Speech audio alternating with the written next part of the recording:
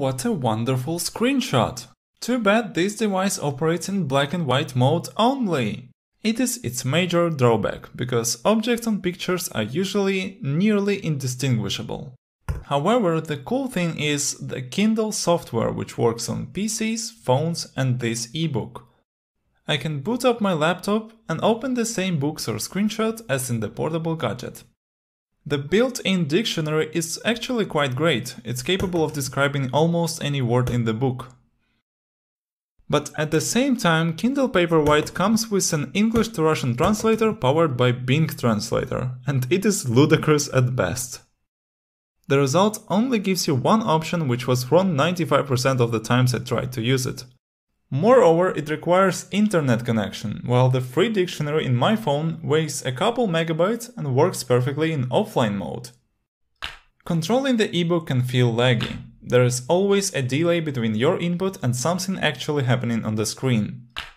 The strange animations only reinforce the rather unpleasant feelings you get while navigating the text. Kindle and Amazon in general make books very easy to purchase. It is scary how effortless this process is, in fact. You'll be able to buy and start reading any available book within half a minute. Sure, you can refund your purchase, but how often do you check if the funds have accidentally disappeared from your account?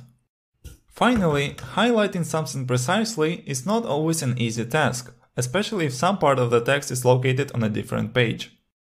All drawbacks aside, I will not abandon Kindle Paperwhite for a long time and I will recommend it to anyone. Choosing digital books over their paperback versions will pay off very quickly. The producers say this ebook is waterproof, when I tried to test the theory, my device wasn't damaged in any way, but for some reason water could trigger touch controls. I guess it's a cool feature in case of some accidents, but honestly I'd rather avoid fully immersing this electronic device into water, especially if that's not necessary. Very wide range of adjustable font sizes and screen brightnesses will fit even the most demanding taste.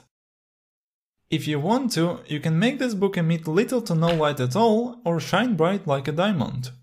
Generally, highlighting sentences, making notes, scrolling pages, adding bookmarks, viewing them later and anything else related to actually reading books works perfectly. I can't complain. Yeah, the controls are quirky at times, but it's really not a life-changing disaster. In a nutshell, to me Amazon Kindle Paperwhite 4 feels like holding a real paperback book in your hands, but it also offers a few quality of life functions on top.